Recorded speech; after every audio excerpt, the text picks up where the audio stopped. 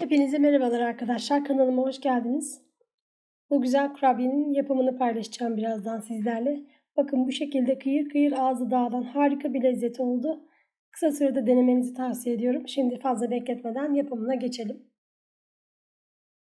125 gram oda sıcaklığında yumuşamış tereyağını karıştırma kabına alıyorum. Dilerseniz margarin de kullanabilirsiniz.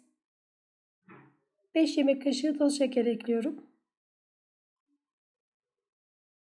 Şekerle tereyağı bu şekilde şöyle bir elimle karıştırıyorum.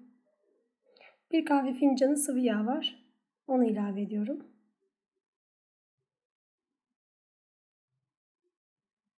Bu üç karışımı tamamen karıştırıyorum. Bir kahve fincanı dövülmüş fındık var ve 2 yemek kaşığı hindistan cevizi ekliyorum.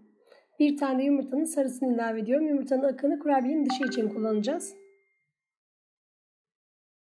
Ve burada unum var. Unumu şimdi ben e, yanıma 2,5 bardak aldım. 2,5 su bardağı. Ne kadarını kullandığımı söyleyeceğim. Son eklediğim malzemelerin bir tanesi yarım çay kaşığı kadar tuz. Diğerisi bir paket kabartma tozu. Unu ilave etmeye devam ediyorum.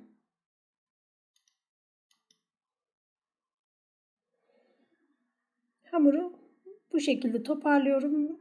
Daha fazla un ilave etmeyeceğim. Yaklaşık 2 su bardağı un kullandım diyebilirim. Kalan unu kullanmıyorum. Bu kıvam benim için yeterli oldu. Dikkatli eklemenizde fayda var. Bu şekilde bir kıvamı oluyor. Şimdi şekillendirme aşamasına geçelim. Şekillendirmeye başlarken fırınınızı 180 derecede ısıtmaya başlayabilirsiniz. Bu şekilde ceviz büyüklüğünde toplar alıyorum. Önce yumurta akına ardından susam ve çörek otu karışımına bulayarak tepsiye diziyorum.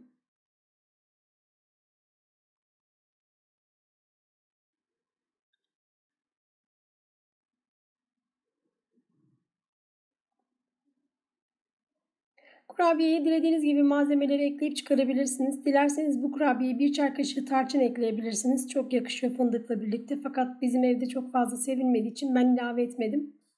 Mahlep kullanabilirsiniz. Yine aynı şekilde evde olmadığı için ben eklemedim. Bu şekilde hepsini hazırladım ve ben bunu şimdi fırına gönderdim. Fırında yaklaşık 30-35 dakika bu şekilde üzeri böyle kızarmaya yakın hale gelince fırından alıyorum. İlk çıkardığınızda bayağı yumuşak oluyor. Biraz eklemeniz gerekiyor kıvama gelmesi için. Şu an ılık henüz e, sıcaklığı geçti ilk sıcaklığı. Çok güzel oldu. Gerçekten kahve yanına, çay yanına ikram edebileceğiniz harika bir kurabiye oldu.